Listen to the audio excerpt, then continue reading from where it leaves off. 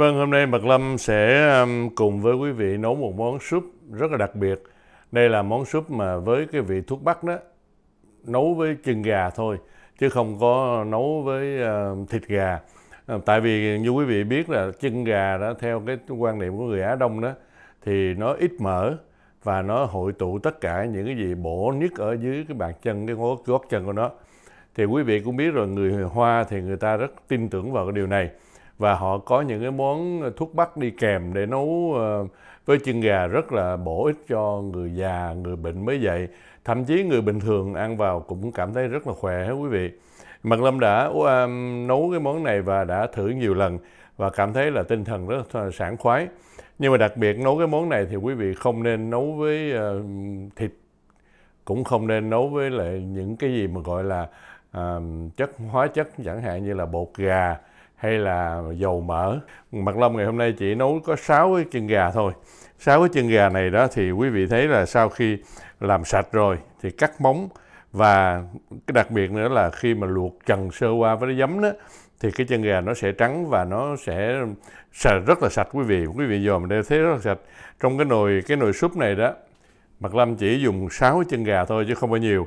Tuy nhiên cái cái vấn đề quan trọng là chúng ta sẽ dùng thuốc bắc chứ không phải là là là chân gà nữa.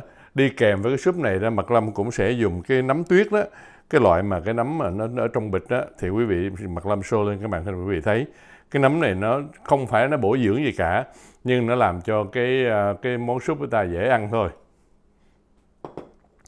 Ngày hôm nay thì quý vị thấy là chúng ta đã dùng nhiều loại thuốc bắc khác nhau và những loại thuốc bắc này đó thì nó rất là giá trị.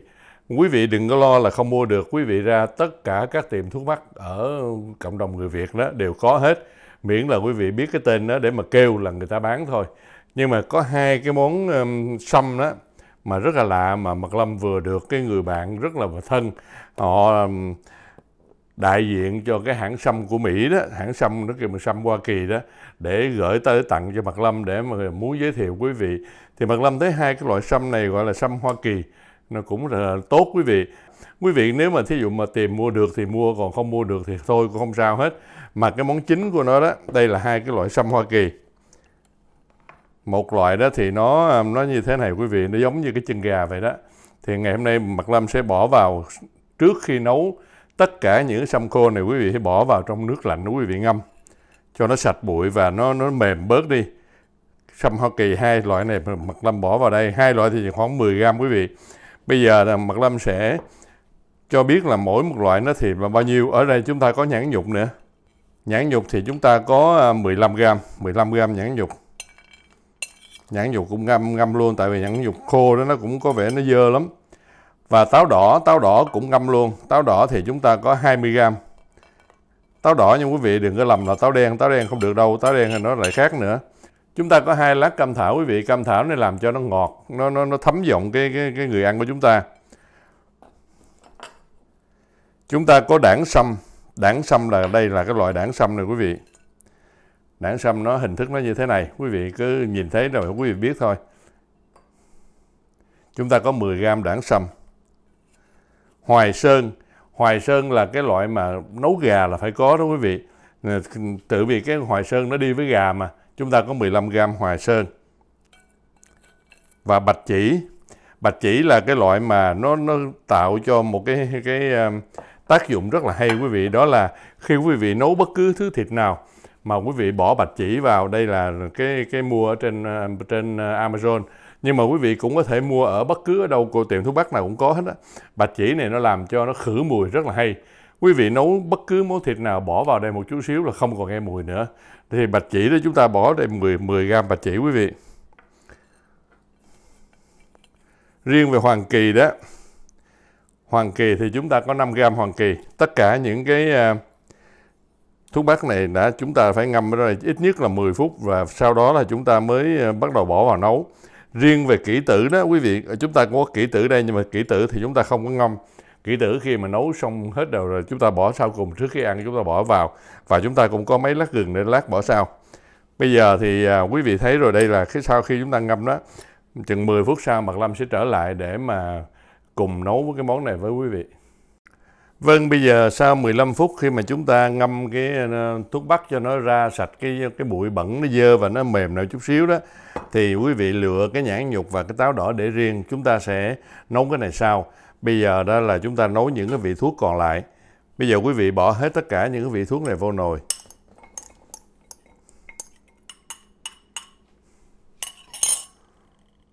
Và đổ vào đây một lít nước đúng quý vị.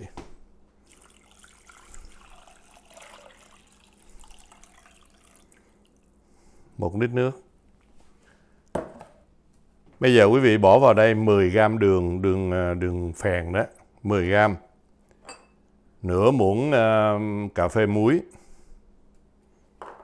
Và nhớ là chúng ta có có một loại rất là đặc biệt đó là à, rượu uh, Thiệu Hưng. Cái rượu này là của người Hoa rất là nổi tiếng để nấu ăn đó quý vị thì Mạc Lâm đã tìm mua cái loại rượu này ở trong những cái chợ Tàu đó, cái chợ người Hoa đó mới có cái rượu này, chứ chợ người Việt cũng khó kiếm lắm. Bây giờ chúng ta đổ vào đây, đổ vào đây một muỗng ăn canh đầy một rượu tiểu hưng vào đây. Và bây giờ chúng ta bắt đầu mở lửa lên. Quý vị nhớ là nấu cho nó sôi lên xong rồi bắt đầu quý vị bỏ lửa còn 50% thôi và nấu liên tiếp trong vòng 25 phút. Chưa bỏ cái chân gà cho nhớ quý vị, 25 phút sau Mạc Lâm sẽ quay trở lại. Vâng, sau khi 25 phút thì quý vị nấu là quý vị thấy cái nước ờ, nước ờ, súp của chúng ta nó đã khác, nó ra cái màu nâu, cái màu cánh gián, tức là cái màu thuốc bắc nó tan ra đó quý vị. Và đồng thời quý vị cũng thấy là nước nó đã rút xuống. Bây giờ chúng ta lại tiếp tục châm nước lên cho nó bằng cái mức độ nước hồi nãy đó. Vâng. Tất nhiên là chúng ta luôn luôn dễ giữ nó một lít nước ở đây. Bây giờ là cái lúc chúng ta bỏ cái um, chân gà vào Cái lý do mà chúng ta nấu hai lần nó khác nhau đó là vì chúng chân gà thì nó dễ mềm lắm. Nhưng mà thuốc bắc là chúng ta phải hầm cho lâu nó mới, nó mới ra hết cái chất thuốc của nó được. Vì vậy cho nên thuốc bắc phải nấu trước là 25 phút thuốc bắc.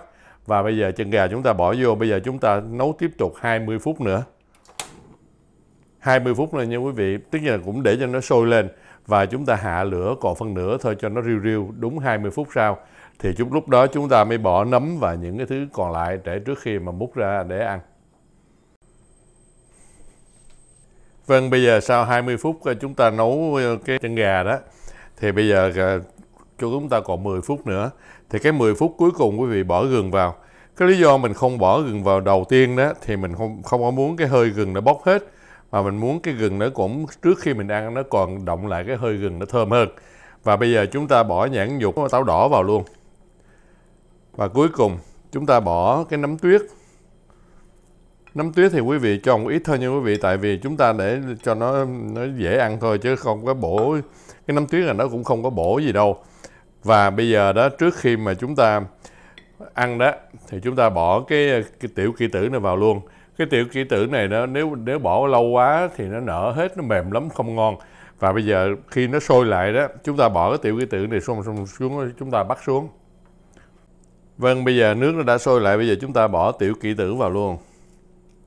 Cái kỹ tử này ra chúng ta bỏ vào và chúng ta tắt lửa để cho cái à, cái hơi nóng đó nó bốc lên và còi táo tất cả mọi thứ nó đã xong hết rồi. Bây giờ chúng ta tắt lửa và chúng ta có thể múc ra tô.